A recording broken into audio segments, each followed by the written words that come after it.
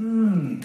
Usually we see our friend, our new friend Jenna around this time. I wonder what she's doing. You know, she and I worked on a new rescue rap yesterday and... Ah! Fire! Fire! Fire! Fire! Oh, stop! Jenna, what are you doing? Oh, I know what to do. Okay, okay, stop. All right, now drop, and then roll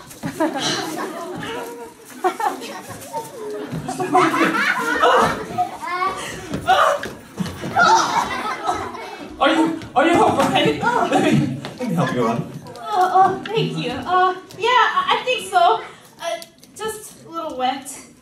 Well then, what were you thinking? Playing with fire is dangerous. I wasn't playing with fire. I was just trying to get us rescued. Uh, by lighting yourself on fire? No, no, no. What happened was I saw an airplane flying low near the island. And so I'm like, I gotta make fire so that they know we're here. So I'm trying to make a fire, trying to make a fire, trying to make a fire. Finally got it to light. But airplane left.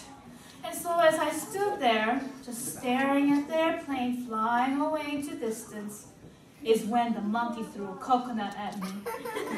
I was like, what? That's when I realized my pants was on fire. And you guys saw the rest. Anyhow, I don't know what I was thinking. I thought, I don't know why um, I could save all of us when I can't even save myself. I'm such a big failure. You know, everyone makes mistakes and, you know, we do wrong sometimes. Sometimes we make honest mistakes, things that we don't mean, and other times we do wrong on purpose. And when we do wrong on purpose, it hurts other people. And that's called sin. And sin separates us from God. But when you do wrong, Jesus rescues. Jesus rescue! Oh, let's that.